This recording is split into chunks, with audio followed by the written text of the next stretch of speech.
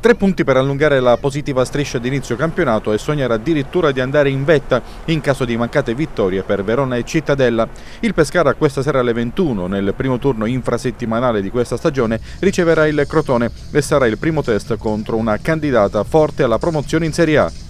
Al di là degli spunti di classifica, i biancazzurri vogliono proseguire in quel percorso di riavvicinamento con il pubblico e proveranno anche a migliorare la qualità del gioco, dopo che sabato scorso il Foggia per diversi tratti della gara aveva messo in difficoltà la squadra di Pillon, ridestatasi a seguito dell'errore dagli 11 metri di Mazzeo fino a trovare il gol partita con Gravillon.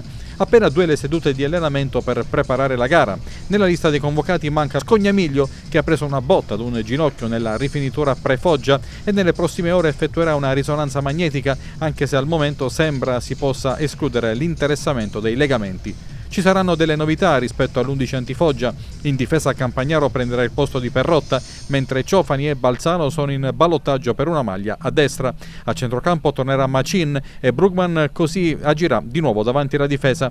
Conferma anche per Memushai. In avanti Antonucci sembra in vantaggio su Capone, di Monachello e Mancuso gli altri due posti nel tridente. Nel Crotone, reduce dalla sconfitta interna col Verona, mancherà uno degli ex, Martella, che è nella lista degli infortunati al pari di Sampirisi, Barberis e Figliuzzi.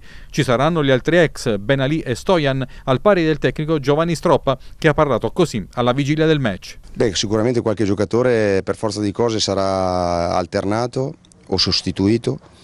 Eh, per quanto riguarda sì, eh, gli errori, eh, sono quasi tutti errori di scelta e tecnica. Eh, dicevo appunto prima che il Verona ha costruito le cose migliori su nostri errori e quando sbagli tecnicamente chiaramente quando poi sei aperto eh, puoi, eh, puoi, farti male e così è stato. Eh, sicuramente dobbiamo lavorare molto meglio lì. Partita di gamba, adesso non so come saranno in condizione a livello fisico, se, se avranno recuperato, però è una squadra ostica, eh, meno palleggio, gioca con lo stesso sistema di gioco del, del Verona, però meno palleggio, più verticalità.